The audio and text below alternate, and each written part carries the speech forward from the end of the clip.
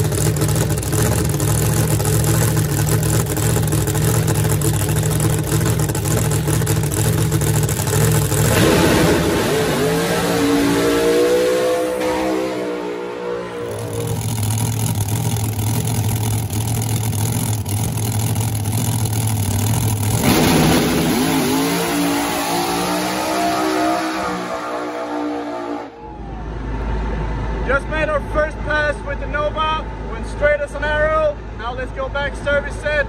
See you later.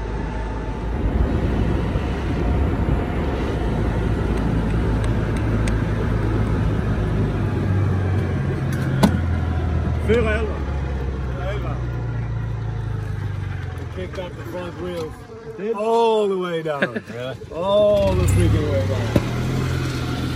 So, uh, we're on our way back uh, to Cape Coral.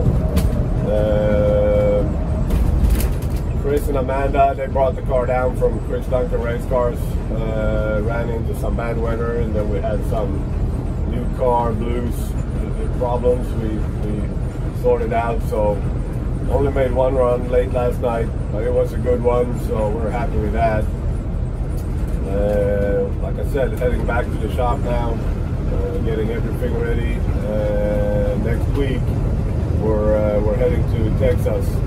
We're gonna try to tech test on Wednesday or Thursday, and then the first no prep race for us is gonna be in San Antonio uh, next weekend.